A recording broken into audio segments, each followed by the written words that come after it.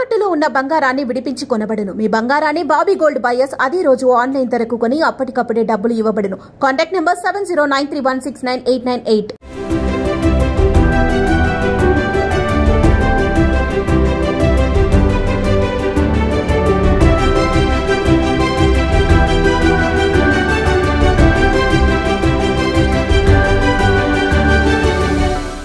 ఓడిపోవడం తప్పు కాదు. పడిపోవడం నేరం కాదు.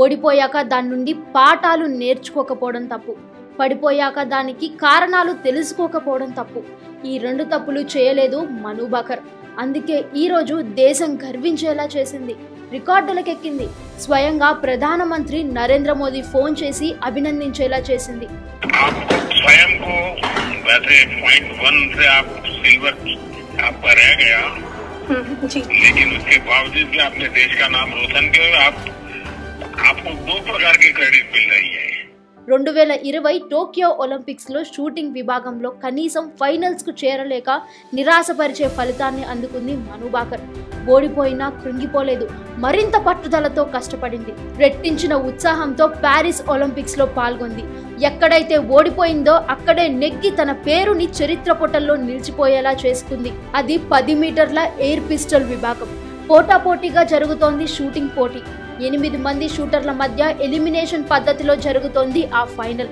ఒకరి తర్వాత ఒకరుగా తక్కువ పాయింట్లు సాధించిన వారు నిష్క్రమిస్తున్నారు.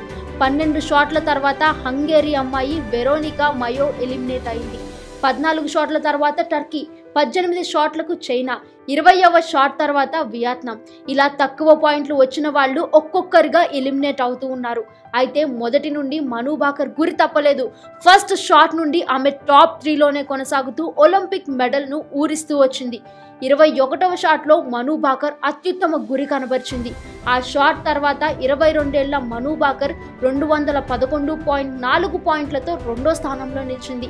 మూడో స్థానంలో దక్షిణ కొరియాకు చెందిన కిమ్ యోజీ రెండు వందల పదకొండు పాయింట్ మూడు పాయింట్లతో ఉంది. అంటే ఇద్దరి మధ్య పాయింట్ వన్ మాత్రమే తేడా. అతి కీలకమైన ఇరవై రెండవ షాట్లో మను భాకర్ పది పాయింట్ మూడు స్కోర్ చేసింది. రెండు వందల ఇరవై ఒకటి పాయింట్ ఏడు పాయింట్లకు చేరుకుంది. నిజానికి అది మంచి స్కోరే. అయితే దురదృష్టం కొద్దీ కిమ్ యోజీ ఇరవై రెండవ షాట్లో పది పాయింట్ ఐదు స్కోర్ సాధించింది. అంటే జీరో పాయింట్ వన్ తేడాలో మను భాకర్కు రజితం చేజారింది.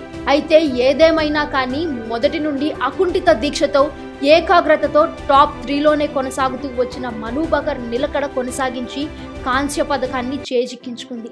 షూటింగ్లో తొలి పథకం గెలుచుకున్న మహిళా షూటర్గా అవతరించింది మనుబాకర్ ఇది ఒక అసాధారణమైన ఘనత. మొత్తంగా చూసుకుంటే ఒలింపిక్స్లో పథకం గెలుచుకున్న ఐదో భారతీయ షూటర్ ఈమె. గతంలో రాజ్యవర్ధన్ సింగ్ రాథోడ్ అభినవ్ బింద్రా విజయ్ కుమార్ గగన్ నారంగ్ ఈ ఘనత సాధించారు. మొత్తంగా ఒలింపిక్స్లో పథకం సాధించిన ఏడో క్రీడాకారిణి మనుభాకర్ ఈ జాబితాలో కరణం మల్లేశ్వరి సైనా నెహ్వాల్ మేరీ కోమ్ పివి సింధు సాక్షి మాలిక్ లవ్లీనా బోర్గోహైన్ ఉన్నారు. ఈ రికార్డుల బట్టి అర్థం చేసుకోవచ్చు. మను భాకర్ గెలుపు ఎంత ప్రత్యేకమైనదో. అలాగే ప్యారిస్ ఒలింపిక్స్లో భారత్ గెలుచుకున్న తొలి మెడల్ ఇది. మను భాకర్ బోని కొట్టింది. కాంస్య పథక గెలుచుకున్నాక మను భాకర్ మాట్లాడుతూ ఒత్తిడి నుండి బయటపడడానికి తనకు భగవద్గీత ఉపయోగపడిందని చెప్పుకొచ్చింది. నేను భగవద్గీత చదువుతాను. గీతలో కృష్ణుడు చెప్పినట్లు నేను నా పని చేసుకొని వెళ్ళాను. ఫలితం గురించి ఎక్కువ ఆందోళన చెందలేదు.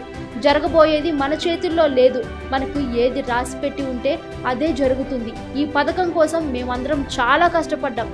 నా గెలుపుకు కృషి చేసిన అందరికీ కృతజ్ఞతలు అని పేర్కొంది. దేశానికి ఈ ఒలింపిక్స్లో తొలి పథకం అందించిన మను భాకర్ను ప్రధానమంత్రి నరేంద్ర మోదీ అభినందించారు. స్వయంగా ఆయన ఫోన్ కాల్లో మనుపై ప్రశంసల జల్లు కురిపించారు. ప్యారిస్ ఒలింపిక్స్లో తొలి పథకం అందించావు. Well done Manu Bhaker.